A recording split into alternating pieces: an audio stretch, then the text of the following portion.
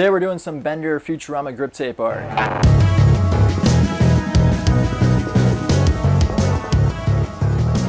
YouTube, what's going on? It's Thursday. You guys all know me, I'm a big Futurama fan and we haven't done grip tape art in I think over a month now. So it's about time to go do some. Let's go put some Bender from Futurama on some grip tape. Let's go do it.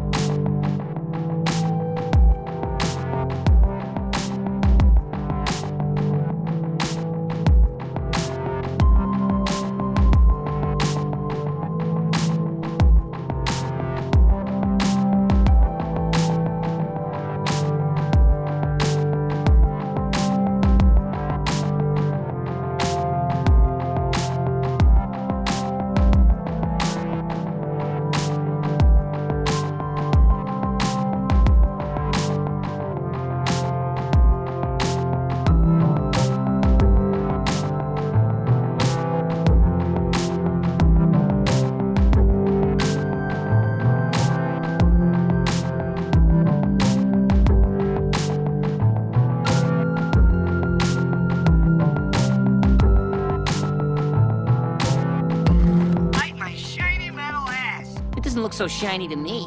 Shinier than yours, meatbag. Here it is, the now added Bender, Joker, and Hank Hill grip tape skateboard deck so far.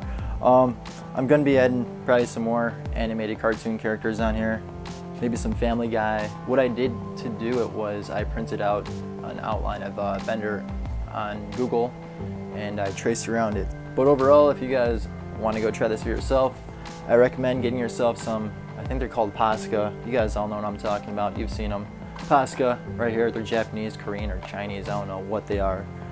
They're available on Amazon for 25 bucks. This is a pack of I think 12 or 16, something like that. They have them in uh, smaller quantities as well. Only bad thing is they go really fast. You guys can tell I'm out of blue and white pretty much because of the Pac-Man skateboard.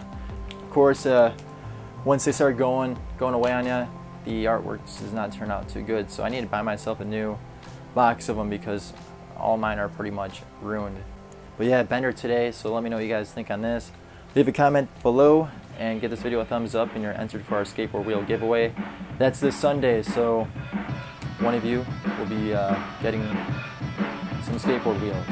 Besides that, I hope you guys all have a great awesome Thursday. Like, comment, and subscribe, and I'll see you guys tomorrow.